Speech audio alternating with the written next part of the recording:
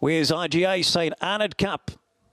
And the gates open, they're away. Pania Dame goes back and ridden with a bit of vigour was Equine Philosopher from the centre of the line. Swelter Magic is having no problems coming across from its wide berth on the track and Equine Philosopher is going to race it for the lead. Champagne Friday's two lengths away with Florida Dream and then comes Morton's Fork following that runner and Lunch Session holds a spot back on the fence. Storm's Colour is second last and a length and a half to Pania Dame as the Cup field leave the straight behind them and head out towards the 1400 metre mark.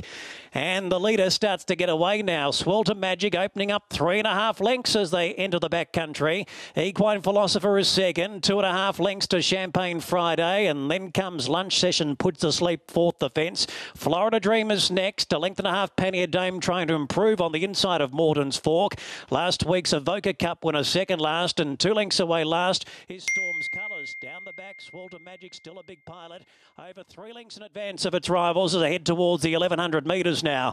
Equine Philosopher in second spot, and then comes Champagne Friday lunch session, soon to make a move. Florida Dreaming behind those runners, fifth and poised. Pania Dame, Morton's Fork, there's been little change, and two lengths to Storm's Colours. They head off the back, 800 metres left to go, and still Swelter Magic, but just not by as much now, only three quarters. Equine Philosopher, who only a couple of months ago was a maiden, going up to challenge, and they're two lengths clear of lunch session, Champagne Friday. Here's Florida Dream now pulling out three wide. Morton's Fork trying to pick up carrying the grandstand, trying to get onto the back of Florida Dream. Pania Dame and back at the tail end of the field. Storm's Colours pulling out deeper. They come around the home corner in the cup. It's Walter Magic turning first, but Equine Philosophers breathing down his neck. They've got two lengths on lunch session. Florida Dream trying to get there. Morton's Fork still a mile back. Swelter Magic still bobbing in the lead. Equine Philosopher still a neck away, trying to get on level terms. Swelter Magic